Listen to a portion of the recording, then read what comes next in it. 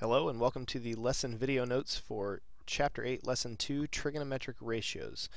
This is not a mistake. We are starting Chapter 8 with Lesson 2. We skipped right over Lesson 1. Uh, we will be starting with Lesson 8 too. Today our objectives include finding the sine, cosine, and tangent of an acute angle. And we're going to explain what all those words are, sine, cosine, and tangent.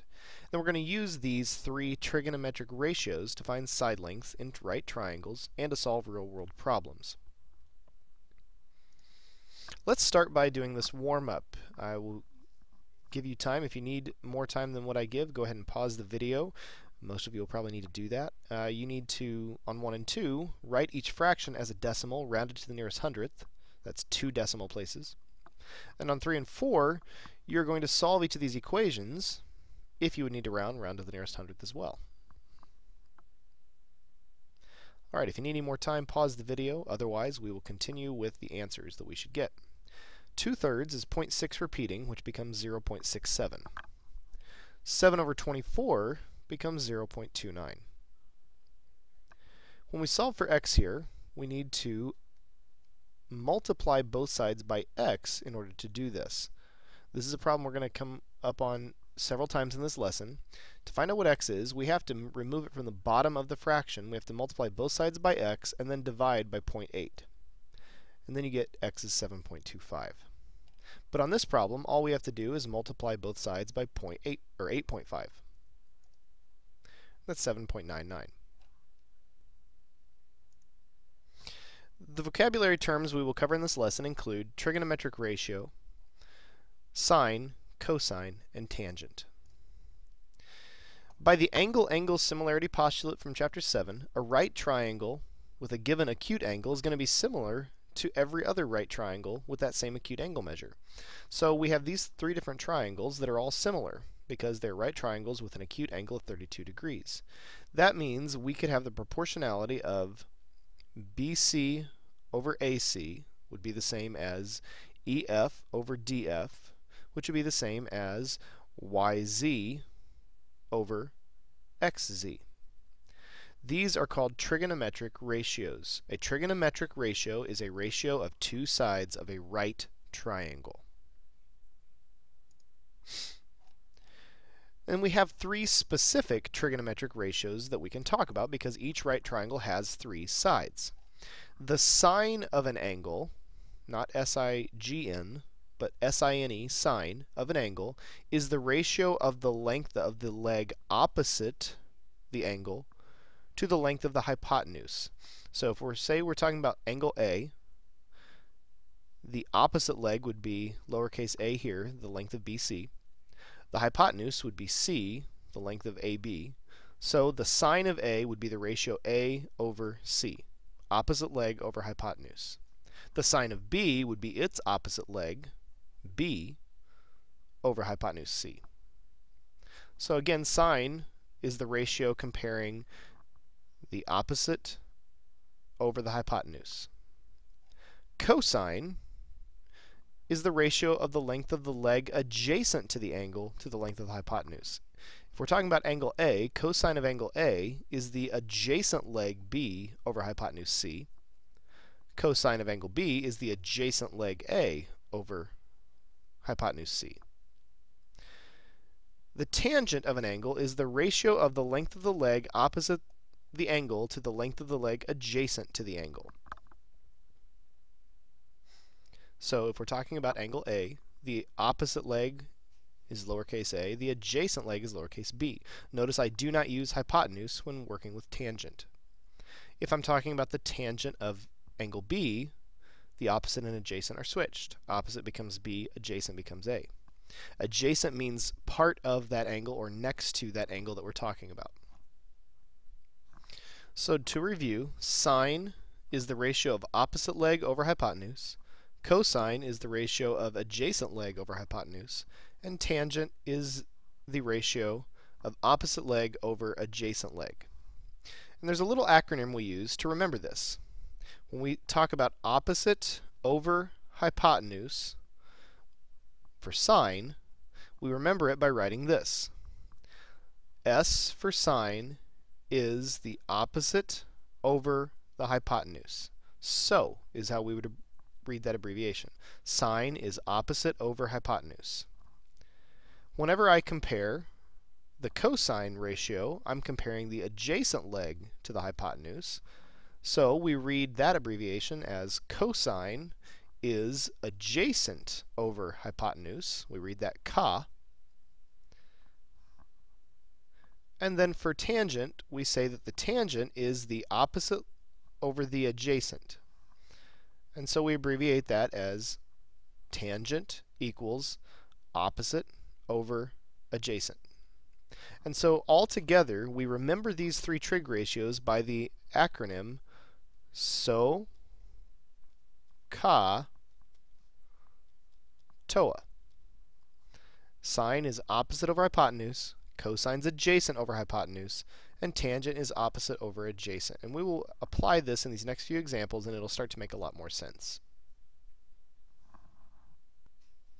Okay, here's a helpful hint in writing math. In trigonometry, trigonometry refers to using these trig ratios.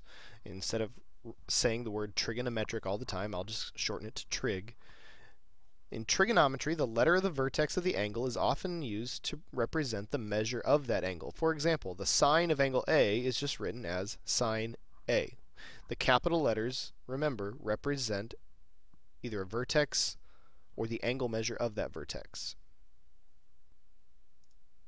So let's take a look at example 1a. We are going to write the trigonometric ratio. Remember, we're writing a ratio, so we'll be having fractional answers. We're writing it as a fraction and as a decimal rounded to the nearest hundredth. So we're going to write our fractional answer first and round to the nearest hundredth. We are given all three sides, so we just need to remember our trig ratios from our acronym. Let's see if we can remember that.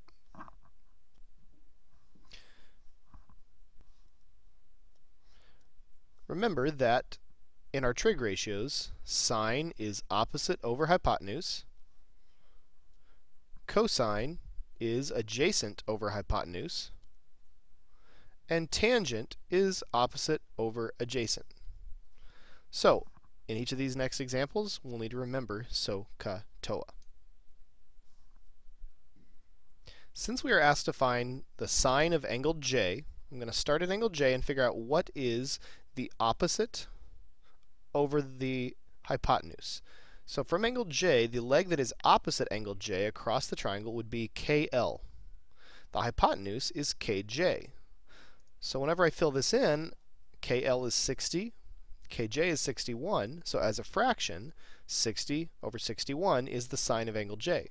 We can divide that out with our calculator, just enter 60 divided by 61, and we get approximately 0.98. Let's take a look at example 1b.